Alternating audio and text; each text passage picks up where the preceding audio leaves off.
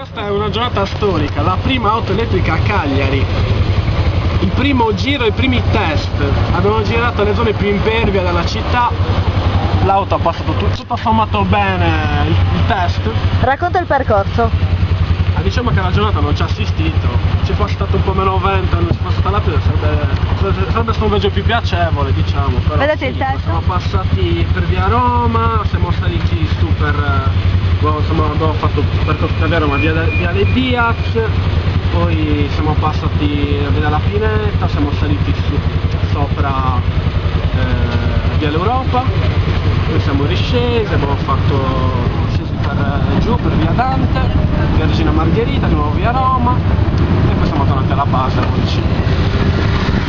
L'auto ha consumato circa 20-30% dell'autonomia totale, abbiamo percorso un 15-17 km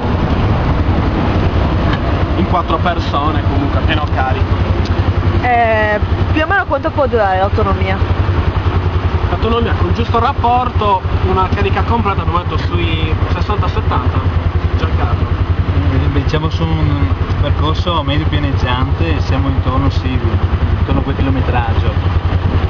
Percorso impegnativo come quello che abbiamo fatto oggi potremmo dire di essere, diciamo, di restare nei termini tra i 40 e i 50 km. Anche col rapporto... No, sicuramente con un rapporto più adeguato al ponte eh, sicuramente avremmo un utilizzo più lungo per un percorso molto più lungo, un chilometraggio più lungo. Soddisfatto? Moltissimo. Speriamo che sia l'estate dell'avvento dell'elettrico a Cagliari.